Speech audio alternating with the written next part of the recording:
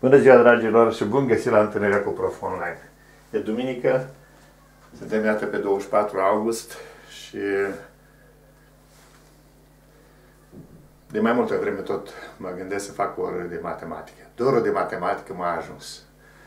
Trebuie să vă spun, dragilor, că de la ultima lecție de matematică n-am încetat să mă gândesc la momentul care va trebui să apară când să fac din nou o altă oră. Să încep să fac ore de matematică.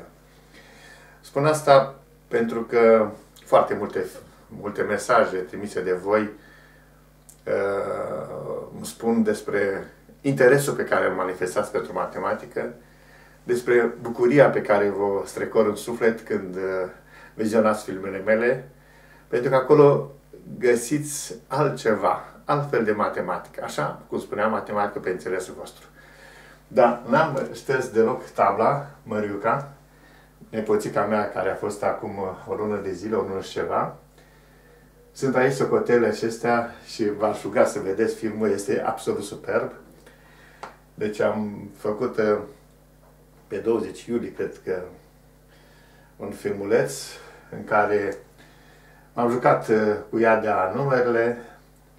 Sigur, uh, sunt aici întreaga ei creație, floricele pe aici ce mai făcut ea în sfârșit. Dar cel mai interesant lucru a fost, uh, mă rog, momentul în care i-a spus, acum știi ce, bubule, eu sunt profesora, tu ești elevul. Și nu făcea parte din protocol toată povestea asta, însă n-am avut încotro, a trebuit să, să accept propunerea ei, așa că sunt aici prima socoteală 1 plus 1, 1 plus 2 și mai departe. De fiecare dată se bucura că dădeam răspunsul corect, dată 22 plus 100. Foarte bine îmi răspundea. Vă eh, propun să, să vedeți uh, filmul acesta. Acum Bubu este elevul și Maria este profesoră. Nu le aștept și pentru faptul că ori de câte ori ajungeam seara obosit, Știi, cei care nu știu, le spun acum, eu mă ocup foarte tare de apicultură, cum uh, cei care vedeți numai lecțiile de matematică uh, nu știți acest lucru.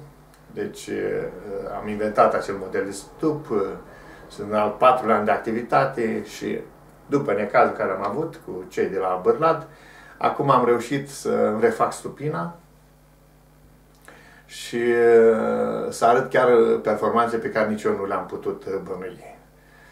Uh, îmbunătățesc continuu, deci actul de creație se produce zi de zi și aș vrea cu tot din adinsul, cu toată forța mea, să vă pot convinge că matematica este superbă, că ea este instrument de lucru pentru alte obiecte și că numai așa se explică, să spunem, rezultatele spectaculoase ale unor oameni care reușesc în domeniul acesta tehnic, mai ales fără aparatul matematic, nu poți face nimic. Așa, iată-mă, Măriuca, am șters socotelele tale și uh, încerc acum să vă demonstrez că uh, cu adevărat, cu adevărat, trebuie să poți să faci matematică într-o stare de bine. Matematica trebuie să-ți producă starea aceea de bine și să te conducă la, o, la momentul acela de bucurie, ori de câte ori reușești să ajungi la un rezultat. Cum să nu te bucuri în condițiile în care te afli de fiecare dată în fața unui necunoscut, nu orice problemă înseamnă ceva să afli și când reușești să ajungi la sfârșit, la rezultatul respectiv, merită să te bucuri cu adevărat. Este perioada asta de vacanță, este perioada când uh, foarte mulți copii nu mai uh, uh, iau legătura cu matematica, mai stau de vorbă cu câte cineva și spun, domnule, lasă-mă în pace, domnule, dar mă, e vacanță, vreau să uit de tot, să mă simt bine și nu știu ce. Da, într-adevăr, dar dacă în sufletul tău se instalează starea asta de bine și de bucurie când te îndrăgești, când gândești spre matematică, nu poți, așa cum mi se întâmplă mie, nu poți să nu încerci să faci o problemă de matematică. Să rezolvi ceva, sau măcar o negheșițiu, ceva se face acolo. Dar știți de ce voi nu, nu aveți această stare pe care vreau să o comunic? Oh, acum, pentru că matematica a fost prezentată așa, în mod, uh, în mod arid și nu ați înțeles niciodată. Și pur și simplu ați făcut matematică din nevoia de a trece clasa sub un stres continuu. Iată, acum s-a ajuns la concluzia că mai bine coborâm ștacheta, cât se poate de jos, intrăm și la facultate fără... Nu se poate o jignire mai gravă. Și fără examen și așa mai departe. Deci tot felul de prostii care să ne îndobitocească. Deci Ponta n-a înțeles altceva mai bun să facă decât să dea la acea ordonanță și să facă această mare nenorocire. Nu asta este soluția. Soluția este să facem transparent activitatea didactică, așa cum o pune, propune Prof Online, să învățăm pe copii să facă matematică cu bucurie și să putem ridica ștacheta cât mai sus. Asta trebuie să înțelegeți. Nu, nu coborâm și ne ducem în morcel complet, să ajungem, purtăm atâta, atâta responsabilitate pentru copiii care îi avem acum, nu e nemaipomenită. Și când ne batem joc de viitorul nostru. Ăsta este viitorul. Viitorul nostru este copilul pe care îl avem. Da, dragilor, și uh, vă spuneam că ajungeam târziu la, de la Stupină, și, în jur de ora 10 și încercam uneori, pe lângă alte probleme care mai aveam încă de rezolvat, încercam să mă uit, să-mi, uh, cum să spun, să-mi recapăt forțele pentru a doua zi, cu mesaje de la voi, cu, mă rog, tot ce îmi spuneați sigur, telefoanele care m-au sunat și copiii care mi-au spus că au luat bacalaureatul numai datorită mie. Mesajele sunt acolo, parte din ele. Uh, rugămintea mea este una. Toți cei care știți uh, prof online, v-aș ruga din suflet să transmite și celorlalți, le-am spus-o și la telefon, ca, iată, un număr cât mai mare de copii să ajungă să, să, să urmărească lecțiile mele. Dar haideți încă o dată să ne uităm, așa cum vă spuneam că uneori fac chestia asta. Deci, pe Google Prof Online, hai să vedem, punem calculatorul, nu știu cum se vede, dar sper să se vadă. Așa. Deci, încă o dată, cei care nu știți, dar cum să ajungeți dacă nu știți, asta e o problemă. Poate vă vor, poate un număr de telefon știți, poate știți de prof online și acum, iată, vă arăt cum să ajungeți. Deci, pornim Mozilla. Acum startează prof online aici și să apare imediat. Dar eu am deja tabul acesta și mă duc, apare, deci prof online dacă l-aș fi scris pe Prof Online și dădeam uh, click pe linkul respectiv, apare pagina profului online, pagina de intrare, da? Deci aici e pagina mea și, dragilor,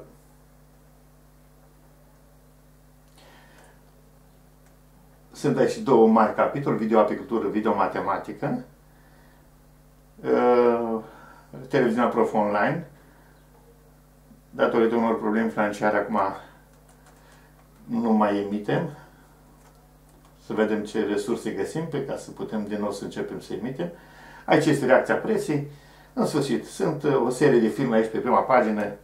Cei care sunt curioși le pot uh, lua. Ministrul Învățământului Grupare Sistemul, cu adevărat Grupare Sistemului. Deci, o dramă mare s-a întâmplat profil, uh, școlii românești prin prezența acestor oameni. E, aici este exact cum trebuie să uh, accesați, să intrați. Dar haideți să ne ducem pe, să luăm din capitolul ăsta video uh, matematica, că la matematică suntem, nu videoapicultura, videoapicultura o accesează cei care sunt interesați de acest nou domeniu, acest domeniu pe care eu l-am Uh, privit prin creația mea dintr-o altă perspectivă, o nouă tehnologie apicolă. Și acum am intrat în pagină și, dragilor, vedeți aici foarte multe filme, uh, multe titluri, cuprinsul acestui blog, da? Deci cuprinsul acestui blog înseamnă fel de fel de lecții. Iată aici. Acum Maria e profesoară și Bubu este, o, face pe, o face o lecție de matematică. Da. E, Bubu este elevul. Așa. În prima parte a fost Bubu și Maria a fost elevă. Acum s-a întors, vă spuneam, cele două filmulețe le vedeți, eu le-am văzut de mai multe ori că mai ales asta în care ea e profesoară este superbă lecția. Așa că o să defilăm un pic și să vedem ce mesaje aici undeva sunt și mesajele care proaspete mi le trimiteți voi. Titluri mai importante, Cristi a organizat aici totul. Dacă aveți și sugestii, puteți să-i trimiteți. Atenție că cât de curând înființăm uh, Fundația uh, Prof Online și acolo să începem să facem lecția pentru a doua zi pe clase. Deci va fi structurat pe clase în cadrul fundației uh, lecții, tema pentru a doua zi. Așa că toți vorbitorii de limbă română vor beneficia de așa ceva. Lecții de ultimă, din ultima lună, nu știu ce acolo, care au fost cel mai mult vizionate, pe partea stângă aici. Avem și din SUA, nu? Aici, din Statele Unite, din uh, vila uh, fiicei mele. Cât am stat în state, n-am putut sta așa cu mâna în sân, ci am cerut să mi se pună o tablă și am făcut aceste lecții, nu știu câte sunt, 10-15 lecții din Statele Unite. Uh, acum, văd, aici vedem și comentariile cele mai recente comentarii. Bună ziua! Am nevoie să mă ajutați cu niște probleme. Ia să vedem. Chiar așa. Hai să vedem ce probleme sunt. Asta e, cred că e ultimul mesaj. Așa. Este mesajul la o lecție. Să vedem ce lecție este aceasta. Așa.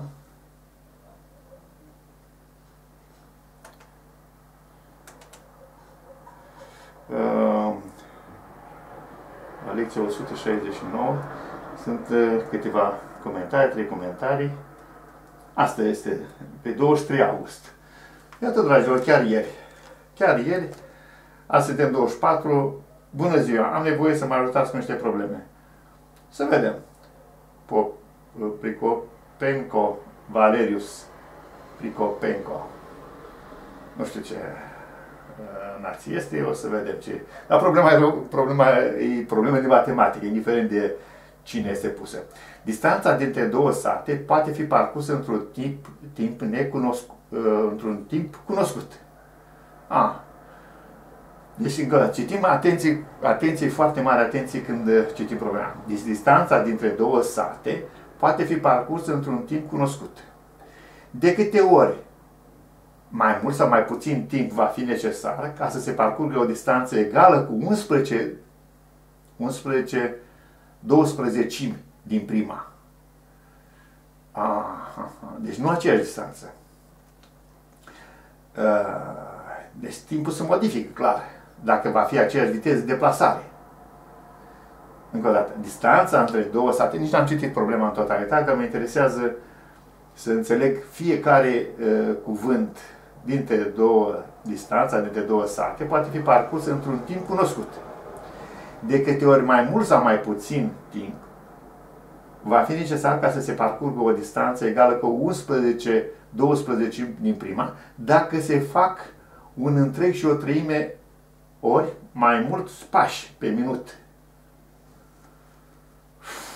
Dacă se fac un întreg și o treime ori, dacă se fac de un întreg și o treime uh, ori mai mulți pași pe minut, minut decât mai înainte, adică crește cadența, nu crește că e un întreg și o treime.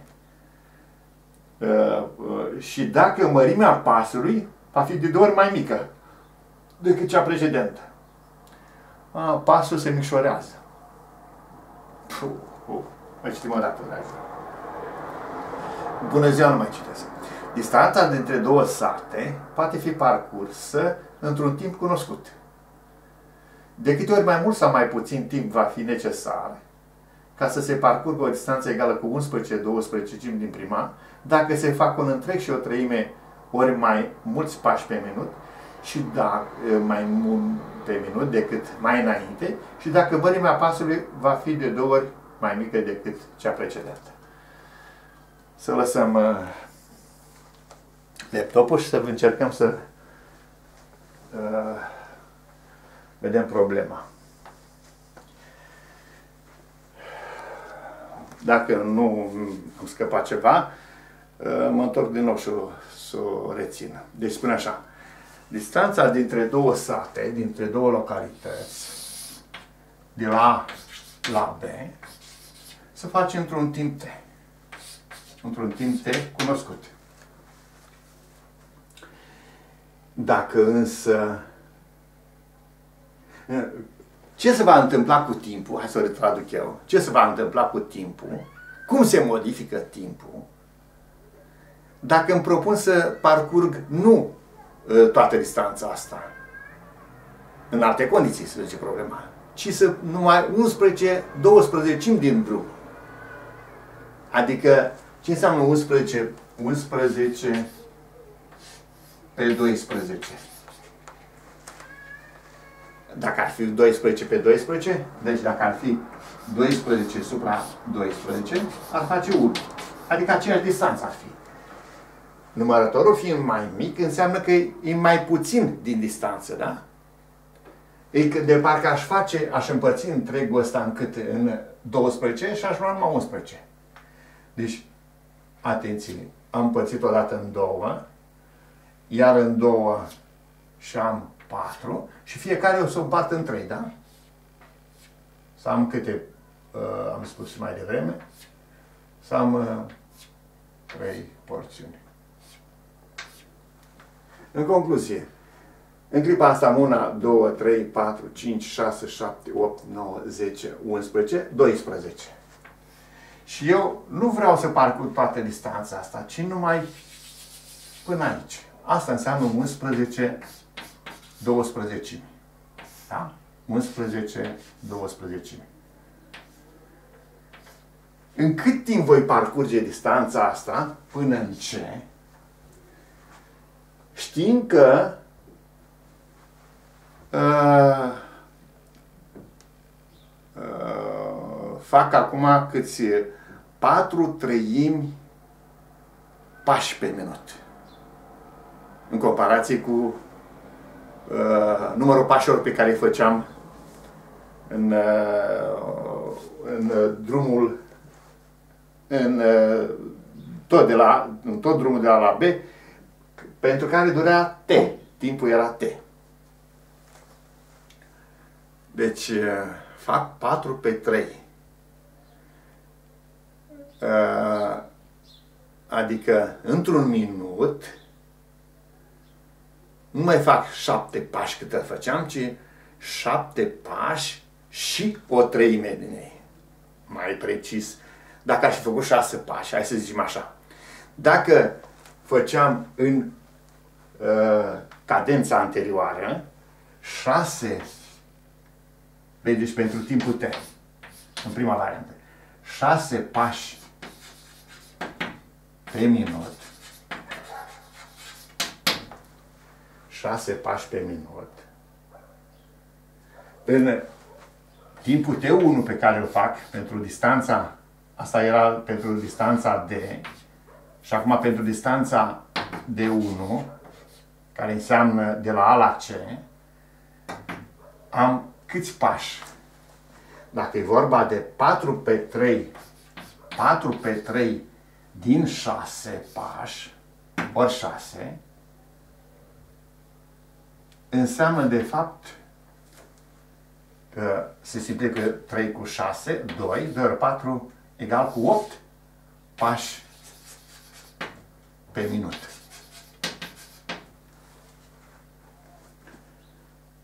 De fapt, 8 pași pe minut. Numărul pașilor a crescut. Da? Aș aștepta ca timpul să fie și distanța e mai mică și timpul să fie mai scurt. Dar spune că lungimea pasului este de o jumătate. Adică cei opt pași îi de parcă ar fi patru înainte. Patru pași înainte. Deci cum pasul, cum opt trebuie înmulțit, opt pași pe mulțit, mulțit cu 1 pe 2, înseamnă patru pași pe minut. Da? 4 pași pe minut. Lungimea pasului fiind asta de aici. Da? Lungimea pașilor fiind cea în care făceam 6 pași pe minut. Care e concluzia? Că de data asta,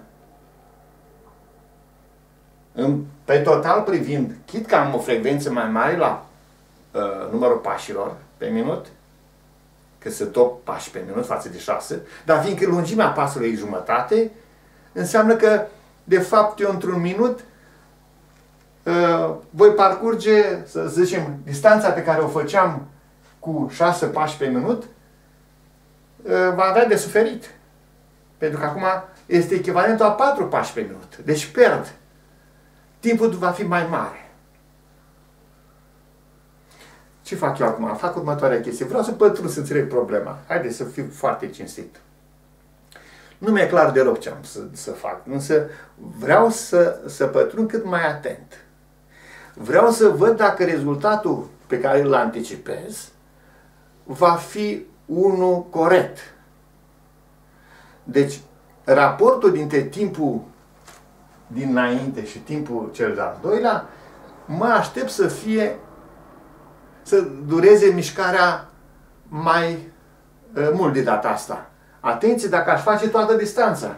Dar vine autorul acum și complică un pic problema. Nu cere toată distanța, ci numai 11-12 din distanță. Deci micșorează distanța, dar știu că durează pentru parcurgere mult mai mult. Am sentimentul, bunul simț matematic îmi spune mie acum, că chiar pe 11, pe 12 din distanță, timpul va fi mai mare în raport cu timpul alocat pentru parcurgerea distanței în prima variantă. Nu știu, cred că am complicat lucrurile, nu? Mai repet o dată. repet o dată, de două ori, de șapte ori, până înțeleg și eu problema. Da? Deci sunt în etapa în care am citit problema și vreau să o înțeleg. Nu mă pot apuca de treabă dacă nu am înțeles-o. Este esențial lucru. Și vreau ca să anticipez rezultatele, să simt fizic cum se întâmplă. Dragilor, vreau să vă spun o povestioară, o poveste care am trăit-o concret. Deci eram în clasa a 10 elev. Uh, eram uh, recunoscut la nivelul liceului acesta renumit din podul Turcului ca fiind cel mai bun elev. Am și intrat pe locul întâi la admitere. Deja a fost focalizată toată atenția asupra mea și uh, profesorul de fizică, da, da, eu am ceva nativ în chestia asta. Am un simț practic, simțul uh, acela al fenomenului. Și profesorul de fizică a ghicit asta probabil de cum stăteam la ore, probabil de felul în care urmăream uh, lecția, mimica feței mele, era cea care spunea că ăsta stă cu ochii pe mine perfect. Să nu cumva să spun vă prostii, ca să te întreb. E, uh, trec peste o altă postare, o chestiune în clasa noua care mi s-a întâmplat. Acum, el se convinsese că, într-adevăr, nu-i de glumi cu mine. Și dacă îi dădeam ok în timpul lecției, continua foarte bine, era încântat. Dacă eu mă încruntam să ceva nu mi-e clar, trebuia să insiste, să mă convingă și numai când îi spuneam da, am înțeles, nu, nu verbal, ci pur și simplu din mimica feței, el atunci continua mai departe.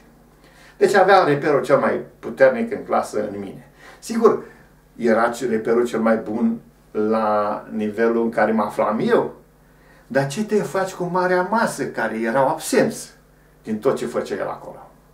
Acum, care era explicația? În afară de instrument, în afară de partea nativă pe care o avem asupra ceea ce înseamnă simțul practic, fenomenul fizic, percepția lui, pipăierea lui, era și o altă chestie. Eu aveam instrumentul matematic foarte bine pus la punct în comparație cu el, ca profesor.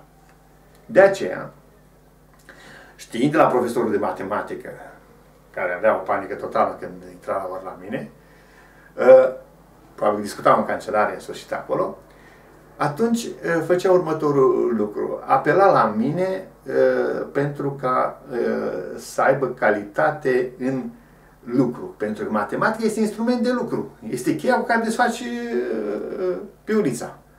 Deci asta trebuie să înțelegeți. Acum, matematica pe mine mă ajută. Vedeți, încerc să transform, să... A, nu mi-am terminat povestirea. Și la un moment dat, în timpul lecției, l-am prins pe profesor cu o chestie acolo și a spus, stop, aici nu. Fenomenul nu așa. Toată clasa a muțit, abia atunci s-au trezit cu toții, fiecare era cu gândul în altă parte, numai la lecții, că nu avea treabă, stăteau așa pasiv, se uitau, precum foarte mulți elevi din clase, din școala noastră de față. Atunci s-au trezit și uh, eu m-am ridicat de picioare și am explicat așa. Ei au stat câteva două minute așa pe gânduri și deodată au reacționat cu toții și au spus Stai mă jos acolo! Nu ți-e rușine? Cum să permiți tu să ridici în fața profesorului? Au simțit ca o șansă ca să intre în grațiile profesorului și care cât ridica vocea mai tare, cu atât credea că va fi mai bine. Așa că m-am trezit într-un vacar și atunci am fugit de la catedră și am stat de vorbă, cred că 10 minute cu profesor, explicându-i că fenomenul uh, fizic așa trebuie să arate cum eu îl simțeam. Ei bine, uh, după 10 minute uh, de discuție, s-a întors la clasă și a zis, liniște! Am muțit toți. Ursul are dreptate. Până acum, timp de 8 ani, am predat lecția greșit. Acum îi mulțumesc că a avut, a avut uh, curajul să vină să mă, să vină să-mi clarifice lucrurile și de aici încolo spun că voi preda lecția numai așa cum mi-a sugerat și cum a, a, a intervenit el. Toți n-aveau aer. Eu m-am uh, dus la bancă, vă dați seama, pluteam, nu, nu mai calcam pe pământ. Deci eram în aer așa de bucurie, la vorbele profesorului, avusese puterea să recunoască. Este extraordinar. Extraordinar. De acolo începând, am fost colaboratorul lui, n-am mai fost elevul lui. Așa se face când avea câte o problemă de prin gazetă, ceva, venea la mine și mă, prin pauză și mă căuta și spunea, băi, știi, uite, m-am stat de aseară până la două noaptea și n-am, știu, nu mi-e să mă problema asta, ia încearcă și tu. Nu știu vreo clipă dacă profesorul chiar a fost uh, situația aceea, dar știu sigur că uh, mi-a dat un, mi-a creat un culoar pe care l-am apreciat extraordinar și nu m-am mai oprit niciodată. Deci niciodată. Iar eu la rândul când am ajuns profesor, așa am procedat cu elevii mei. Când o soluție a unui elev a apărut, o scoteam pe aia în evidență și pe mea o criticam, praf o făceam. Pentru că el trebuie să crească. Așa cum spune Mântuitor, nu cu Ioan Botezătorul, în discuția care sunt eu botezătorul, eu trebuie să fac, mă fac din ce în ce mai... Am deschis calea, dar acum a apărut el. Cum să ajung eu la Iordan, nu? Cum să ajung eu să, uh, să te botez pe tine, să spăl păcatele tale, tu fără de păcat? Cum să fac eu asta? Asta am trăit-o eu concret cu profesorul meu și de aceea eu a trebuit profesorul din mine să se retragă și să dau culoare să, să lanseze, să spunem, în uh, văzduh uh, elevul meu. Așa se explică rezultatele pe care le-am avut. Asta a fost atunci și elevii mei știu toți care... De fapt, inclusiv la problema asta mă veți vedea cât zbucium este în interiorul meu pentru a înțelege bine problema, pentru a o face cât mai înțeleasă. Păi nu poți explica ceva dacă tu nu ai înțeles foarte bine. Așa să ne întoarcem. Reluăm problema. Deci de la A la B se face într-un timp cunoscut. Se schimbă datele probleme. Nu, mai, nu vreau să mai parcurg acea distanță, numai 11 12 din Iată că ce înseamnă fracții subunitară, supraunitară și echiunitară. Deci asta este o fracție subunitară. Nu? Nu toată distanța o vreau, ci 11, 12 uh, din... Dar în alte condiții. De data asta, e vorba de faptul că uh, o fac mărind cadența, deci numărul pașilor pe minut este de 4 treimi din cadența anterioară, înțeleg eu. Și am luat un exemplu. Dacă ar fi 6 pași pe minut,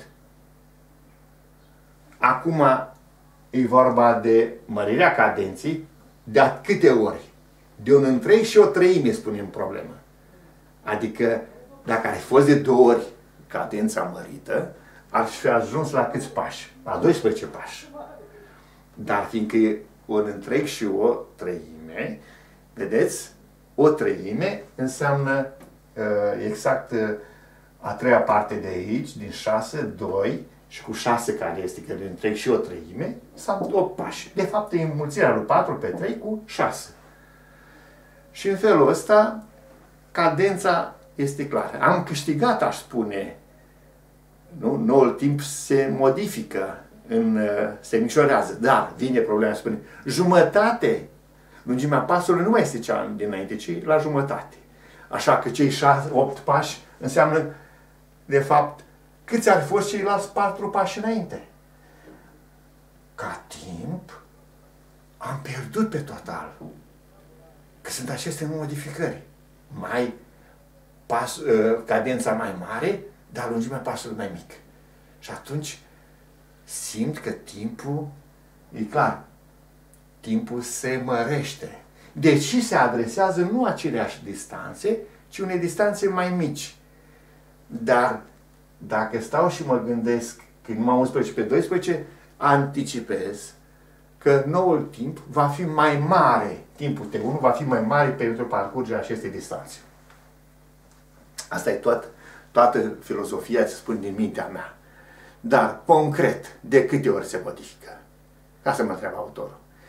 De câte ori crește sau descrește? Adică aflăm raportul dintre T1 și T2. Dintre T, cum am notat aici, T și T1. Asta ar, fi, ar trebui.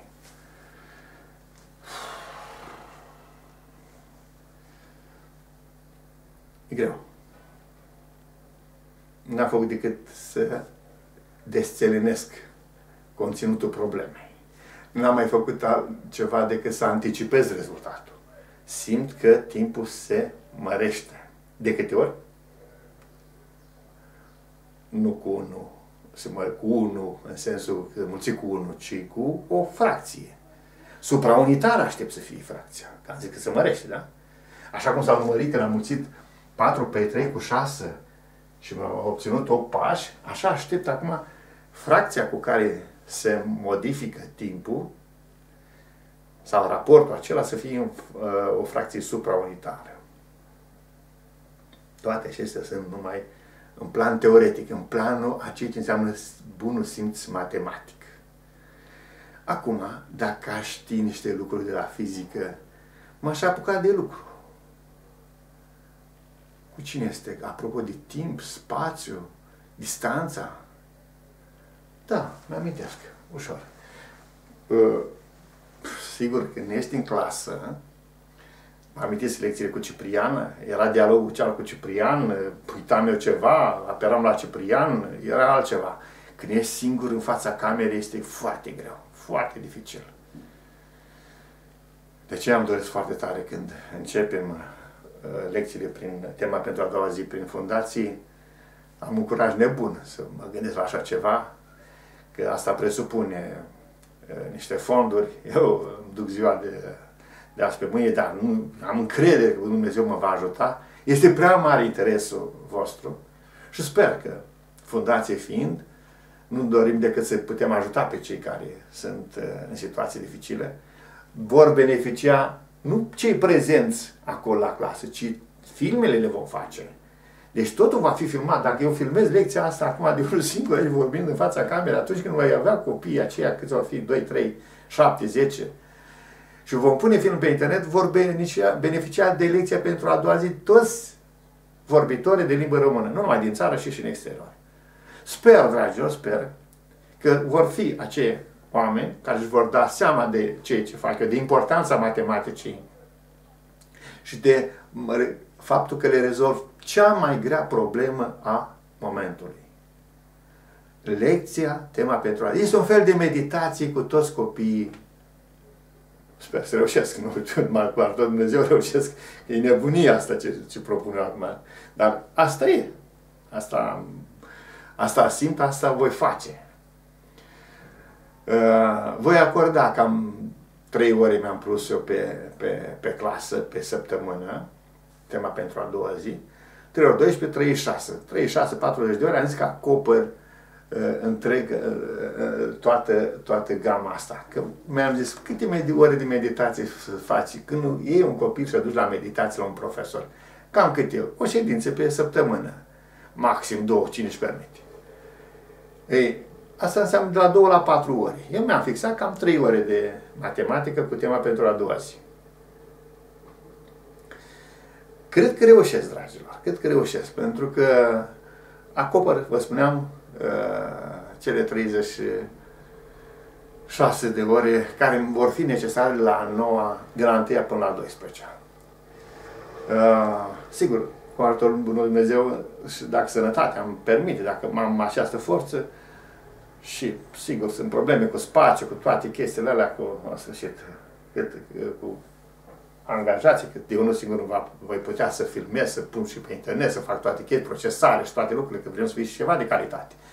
Dar, repet, să, sper să găsesc uh, oameni care să poată face, uh, să poată interveni și în loc să dați 50 de lei pe ședință sau 60 de lei pe ședință la acolo, dați 2 lei, 3 lei, 5 lei la fundație ca să putem să avem fonduri și să facem la rândul nostru.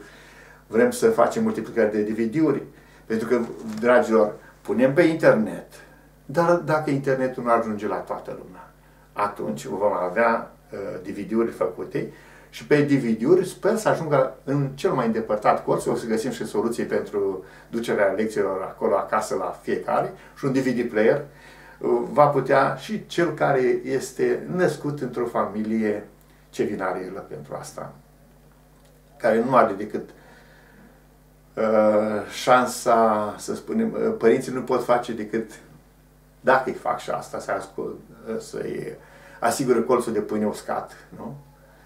Uh, și de condiții de învățare și, și dacă și reușesc să o hăinuță pe ei. Și sperăm și pe partea asta să putem interveni. Totul depinde de felul în care uh, veți uh, sesiza ce anume își propune Fundația Profu Online. Uh, îmi propun să începem o, alt, o altă atitudine față de școală și să vedeți cum anume copiii aceștia pot fi ajutați. Nu e adevărat că să unii se nasc știutori de matematică și alții sunt cei neștiutori. Nu ci modul diferit în care este prezentată matematica de către toți colegii mei, că, vedeți, diversitatea emițătorilor, a învățătorilor, profesorilor, cu diversitatea copiilor, ei, dezinteresul celor doi a produs această falie. Cei doi sunt dezinteresați, nu înțeleg, ele, elevul nu înțelege de ce trebuie să învețe, învățătorul, profesorul nu înțelege de ce să facă efortul ăsta. Și atunci, asta e drama școlii. Hai să ne întoarcem aici de la fizică, hai să vedem, dacă uh, eu mă deplasez cu o viteză până uh, uite, de aici, din cartierul meu până într-un alt cartier. Cadența este aceeași, o viteză constantă. Spațiul este egal cu viteza ori timp, nu?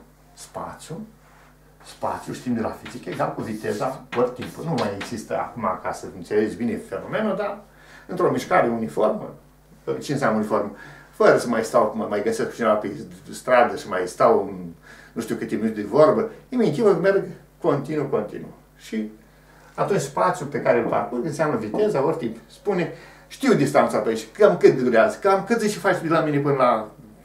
Păi cam 20 de minute. Păi asta înseamnă că așa trebuie văzut. Deci, spațiul acesta, sau distanța, poftim, distanța este egal cu viteza ori timpul, în prima variantă. Hai zic D1, viteza 1, ă, timpul T1. Da? Deci distanța 1 egal cu viteza 1 ori T1. Ă, în al doua variantă, distanța a doua, D2, egal cu V2, ori timpul T2. Nouă, nouă ne se cere raportul ăsta între T1 și T2. Dar D2-ul ăsta nu este cel dat inițial. Deci D2, mai știu că D2 este egal cu 11 pe 12 din D1. Este o parte, o fracție din D1. O fracție subunitară din D1. Așadar, eu pot să înlocuiesc aici în loc de D2, deci pe D2 îl pun aici și zicem 11 supra 12 11 pe 12 de 1 egal cu V2 T2. Dar D1 este V1 ori T1. Și atunci eu pot să spun că 11 pe 12 din D1, adică din V1 ori T1 V1 ori T1 este egal cu V2 T2. V2, T2.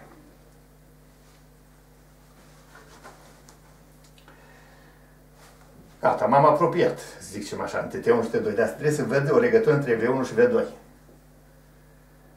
V2 ăsta se modifică în raport cu V1 și atunci, dacă am posibilitatea să simplific, să exprim pe unul în funcție de celălalt, tot este... Adică asta trebuie să fac eu.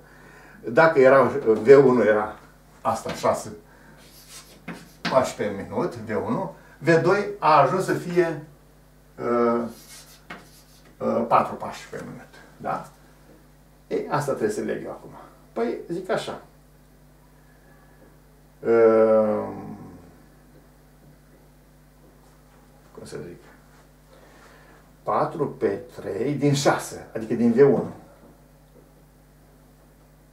Da? 4 pe 3 din 6 și mulți cu 1 pe 2. Că primul 8 a fost mulțit cu 1 pe 2. Deci V2, V2 egal cu 4 pe 3 din V1 și mulțit în continuare și cu o doime, că se, se micșorează pasul. 2 cu 4 simplificăm și este egal cu V1, 2V1, 2V1 supra 3. Deci 2V1 supra 3. Iată relația între V1 și V2. Așadar, în loc de V2, o să spun 2, v 1 pe 3. Deci, de aici, echivalent asta, prin înlocuire, că 11 supra 12 V1 ori T1 este egal cu V2, care înseamnă 2, 2 V1 supra 3. V1 cu V1 se termină. V1, T2, atenție, ori T2. V1 cu V1 se termină și a apărut o relație între T1 și T2. Iată că sunt în stare să vă spun următorul lucru acum. Deci 11 pe 12 T1 11 pe 12 T1 egal cu 2 pe 3, 2 supra 3, T2. Și mulțesc egalitatea asta cu 3 pe 2 cu inversa. 3 pe 2. Și atunci apare echivalent cu 11 pe 12 ori 3 pe 2, 11 pe 12 ori 3 pe 2, T1 egal cu T2.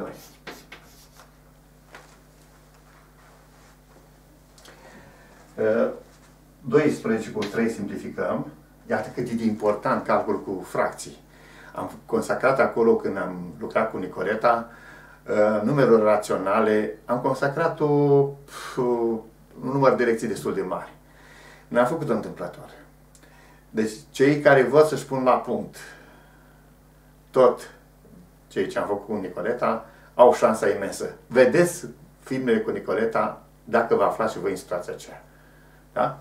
Și atunci urmează T2 este egal cu uh, A4 11 supra 8 nu? Că e 4 ori 2, 8 11 supra 8 uh, T1 cum am anticipat timpul crește.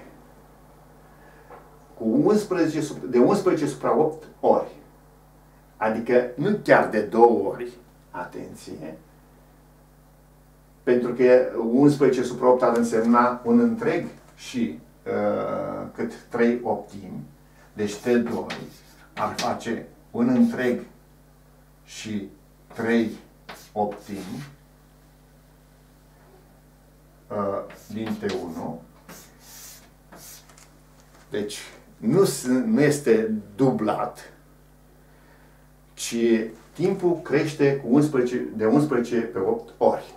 Vedeți, e greu să înțelegi tu ce înseamnă de 11 pe 8 ori. Dacă spune crește de 2 ori, de 3 ori, de 7 ori, așa, este mai simplu. Sau se înjumătățește timpul. sau Dacă când spunem crește de 11 pe 8 ori și crește de o, cu o fracție, multiplicat cu o fracție supraunitară. Așa am simțit fenomenul fizic. Vedeți? Pentru că în loc de 6 pași, el face acum echivalentul ca viteză 4 pași pe minut. Și asta însemna că durează mișcarea un timp mai lung, nu? Ei, așa cum am simțit, așa este, rezultatul este corect. Dar dacă mi-ar fi dat 5 pe 8 din T1, 5 pe 8 din T1, ar fi fost o trăznaie. 5 optimi însemna mai puțin timp, nu? În comparație cu timpul T1. Și ar fi fost o trăznaie, pentru că bunul simț practic mi-a arătat că durează mai mult, nu? Din ce am simțit. În loc de 6 pași, toată mișcarea cu viteza crește, cadența pașilor, dar lungimea pașilor s-a micșorat la jumătate, era echivalent uh, a patru pași. Și atunci durata este mai mare. Dragilor, această problemă de matematică mi-a oferit ocazia să vă spun că uh, matematica rămâne un obiect în sine ex excepțional ea îți lasă libertatea și să dezvoltă actul de creație cum nu o fac alte obiecte. De ce? Pentru că te afli totdeauna în fața unui necunoscut și trebuie să, să elaborezi un raționament cât se poate de riguros, exact, încât să nu dai greș. Problema de mai sus este, dacă vreți, o, o, o demonstrație clară a ceea ce înseamnă fenomenul practic, nu? cum am fost modelat folosind instrumentul matematic și cum am ajuns la rezultat. Ceea ce am simțit din fenomenul fizic s-a transpus prin uh, formulele acestea, nu? prin calculul algebrii pe care îl stăpânesc, de aia să fac toate lucrurile astea. Te întreb, ce e operație cu fracții? De ce e operație cu fracții? De ce trebuie să ne nebunim cu chestia asta? Pentru că, iată, partea practică a problemei, asta este, nu? Și dacă nu știi să faci operație cu fracții, n-ai cum. De ce copiii încep cu numerele naturale, adunări, acolo scăderi, uh, până când și până luăm, au venit cu 5 kg, bunica la piață, 5 kg de mere, au vândut 3. Câte au mai rămas? Deci, concret, practic, așa, ca să pe urmă să vedem, să îmbrăcăm nu? problemele care întâlnim în practică, în urma științei pe care tu ai de a face niște operații cu numere de anumite categorii. Da. De ce ai motivul? Așa că vă rog, duceți-vă acolo și veți vedea foarte multe lecții. Da, uh, acolo erau mai multe probleme. Hai să mai vedem în continuare. Să nu pe el le-a pus. Um, să încerc să dau răspunsuri. Vă atrag atenția, nu neapărat pot să le fac pe toate. Este și, sigur, prima citire, dar uh, și eu sunt un om obișnuit, așa, nu profesor gata, profesor. Profesor nu fac toate. Vorba unei uh, uh, tineri profesori din Brăila. Domn profesor, Of, Doamne, deci până când, până avem fi întâlnit pe dumneavoastră, era așa, despre matematică avem tot felul de... Era un amalgam în, în mintea mea. Învățam, am învățat, a fost o elevă conștiincioasă, am liceu, am făcut facultatea, tot, tot, tot și m-am trezit profesoare. Profesoara lui Pește Prăjit, care se duce la, la școală, învață câteva probleme acolo, cu rezultate, de la sfârșit, cu sfârșit, și te trezești că te afli în fața elevului și nu mai știi numai soluția aceea. Uneori uitat soluția. E, iată o dramă care se petrecea cu tânărul profesor. Am, uh, v-am întâlnit dumneavoastră, acum și am uh, dat uh, definitivatul sau definitivat sau gradul sau titularizare, nu știu ce îmi spunea pe acolo, și au formulate fel de fel de, de probleme acolo ca parte metodică, metoda predării matematice, să zicem, nu? Sunt niște lucruri scrise acolo. Credeți-mă că oricâte cărți ar apare, cu una ca asta, filmul ăsta este partea practică. Și tu și-a spus, eu știți ce fac de cât timp de când am întâlnit profil online, ca metodă de predare, aplic metoda profil online. Încerc să înțeleg, să trăiesc ca prof online la lecție și să pot să-i conving pe copii de ceea ce fac acolo în stilul profil online. Așa că vedeți și voi filmul profil online și mă înțelegeți ce vreau să vă spun. Nu am scris prea mult, deja am scris de profil online. E interesant, foarte interesant, da. Așa că mă întorc și vă zic, ceea ce voi reuși să fac cu ajutorul Bunului Dumnezeu va fi nu numai un ajutor dat elevilor, ci și profesorilor tineri și chiar mai în vârstă, pentru că de aceea au ajuns copiii să, nu, să fugă din matematică. Li se predă foarte ciudat. Înveți definiția aceea, o repezi ca papagalul și tu nu înțelegi continuu, așa spune profesoara funcții surjective, injective, bijective, nimic n-am știut niciodată. Am terminat facultatea, nici vor, nu înțeles nimic, dar abia când am citit la dumneavoastră am înțeles bine. Funcția supărată, funcția e supărată, aia care e supărată nu e surjectivă. Asta e, zicem, îmi va rămâne definitiv în minte. Supărarea pe care ați transmis-o dumneavoastră când nu găsiți un X pentru Y respectiv. Y supărați. Da, așa este. Funcția e surjectivă, dacă pentru orice Y din codomeniu, întrebând pe toți, să găsești măcar un X, încât Y cu acela să fie imagine. Și atunci Y, dacă unul există pentru că nu se găsește niciun X, funcția aceea nu este surjectivă. Și am zis că Y și F sunt supărați. Fiindcă nu găsește. Și atunci, ca să faci surjectiv, îi dai deoparte din codomeniu. Da, hai să vedem ce avem la închis. Să vedem ce problemă mai este pe aici. Da. Uh, a doua problemă. B. Din două metale cu densitatea de 7200 kg, să scriu și eu 7200 kg, cu densitatea, parcă ro se notează densitatea, ro egal cu 7200 kg pe metru cub. 7200 kg pe metru cub. Rho 1, să zic. Rho 2 egal cu 8400 kg în metru cub. 8400 kg pe metru cub. Din cele două metale se fabrică un aliaj, se fabrică, nu, s-au fabricat 19 kg de aliaj. 19 kg aliaj. Așa. Cu densitatea de 7600. Cu ro egal cu 7600. Cu densitatea de 7600 kg pe metru cub. Cât, cât s-a luat din fiecare metal? Care e masa fiecare metal? Deci M1 egal cu cine? Și M2 egal cu cine? Aceasta este cea de-a doua problemă. A, B, C, D. Hai că am treabă. Da, m-am apucat să încerc să răspund. Șterg tabla între timp, dragilor, dar în mintea mea am și început să se învârtă problema asta. Deci, din două metale se face un aliaj. Știu densitatea la primul, știu densitatea la al doilea, știu cât este care e masa aliajului, știu densitatea aliajului și mi se cere să aflu M1 și M2. Aflu într-o situație chiar delicată. N-am mai făcut probleme de acestea, deci nu ne amintesc de când probleme de aliaj.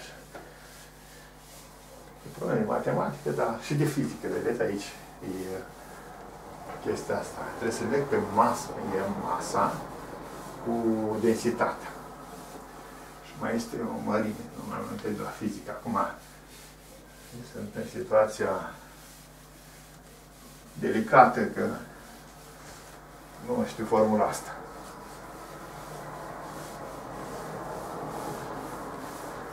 Ce ar trebui să fac? Ar trebui să întrerup. Da, se întâmplă, uite, așa, e un gol în, în momentul de față și nu nu mai amintesc care este legătura între masă și densitate masă de state și mai este o mărime.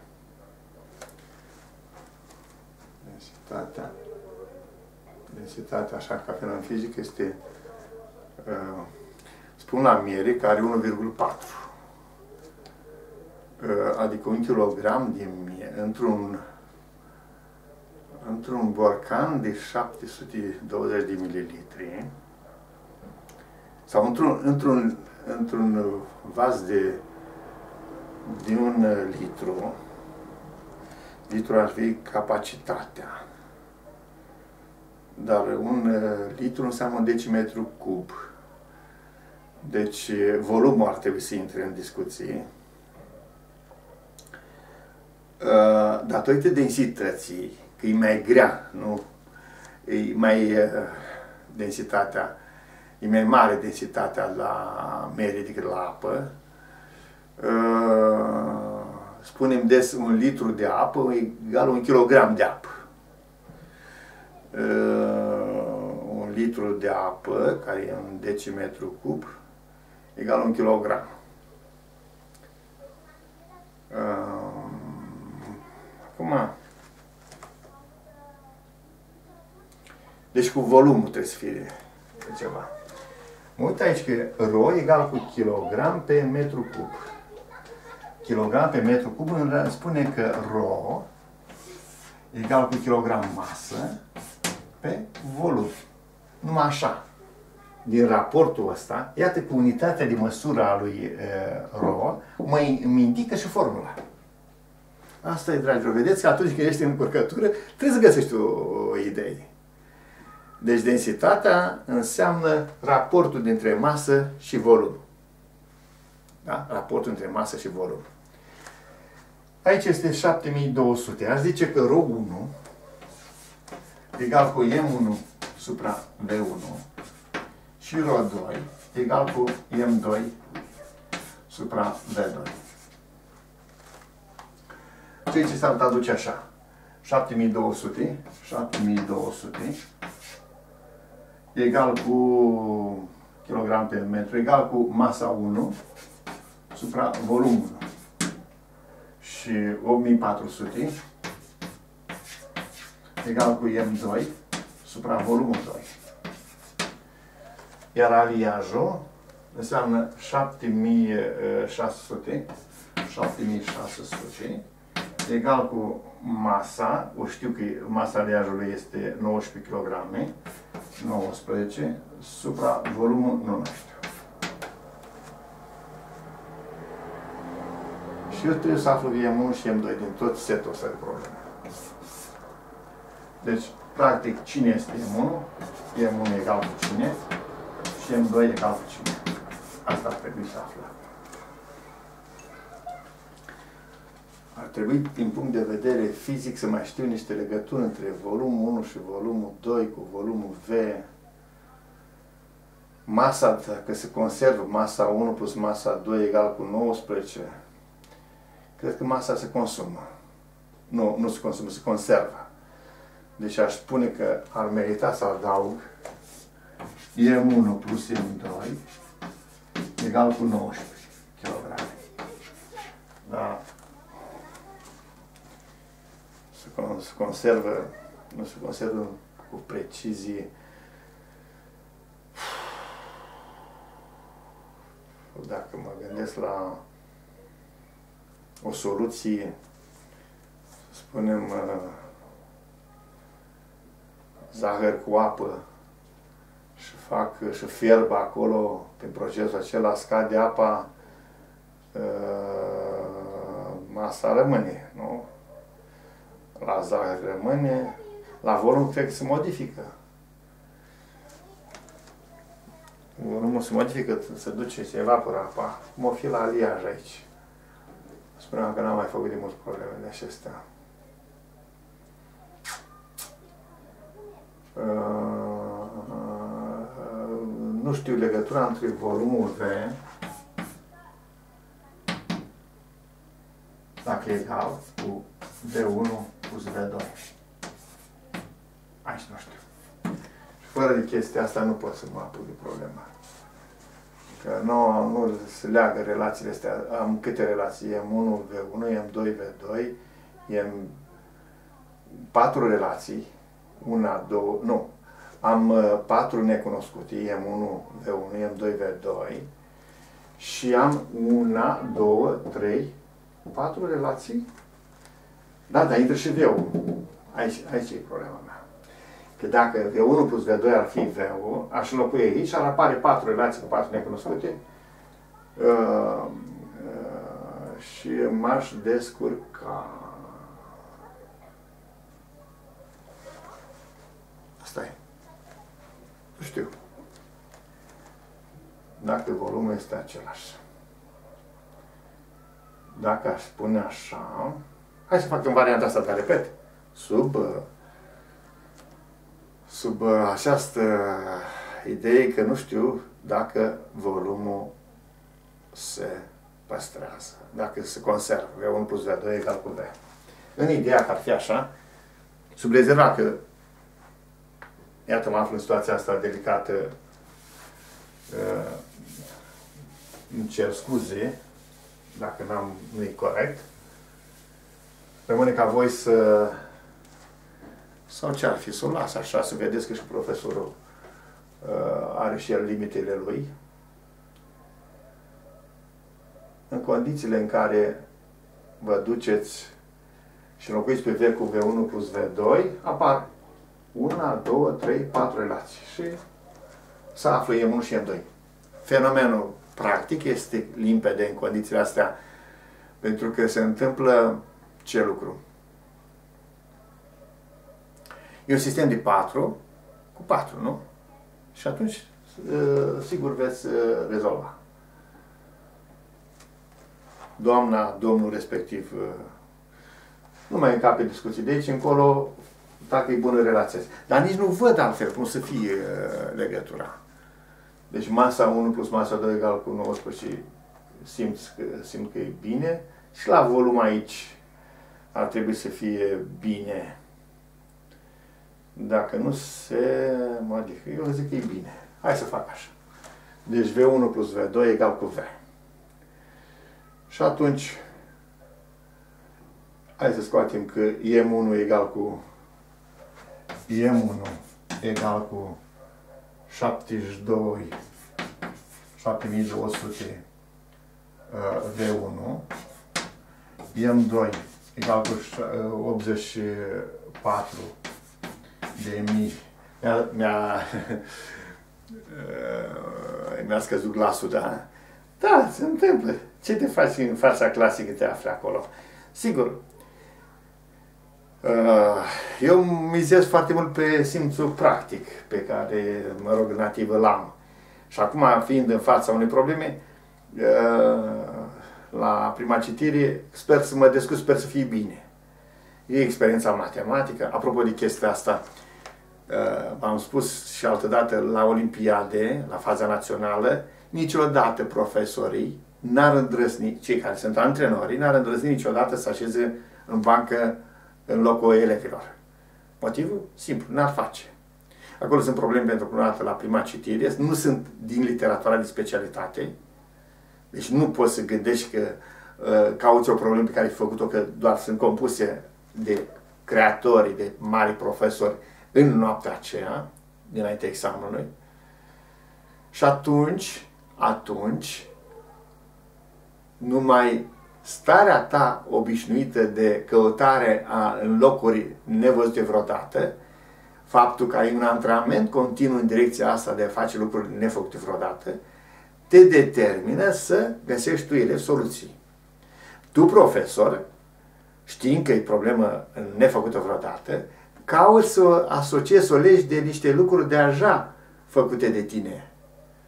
Ei bine, de cele mai multe ori uh, nu reușești, pentru că și acea problemă e făcută tot de un om, nu? Tot un, uh, dar este așa fel al, uh, organizată, construită, încât ție, îți va veni foarte greu să vezi legăturile pe care le-a făcut respectivul. Da?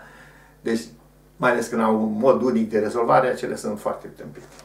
Așadar, eu aici, în virtutea a ceea ce înseamnă experiența rezolvării unui sistem liniar, nu? Din, uh, mi-am dat seama că îmi trebuie o relație și o, o altă relație ar fi V egal cu V1 plus V2. Hai să vedem dacă așa stau lucrurile. V2.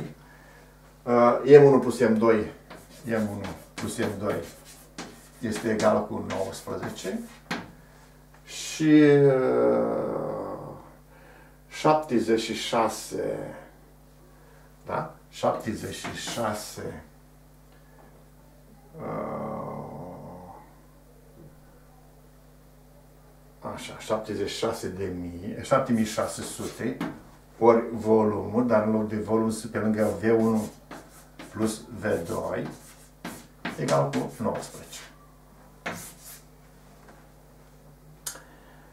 Și acum am să uh, fac următoarea lucru. M1 plus M2 las neschimbată. Uh,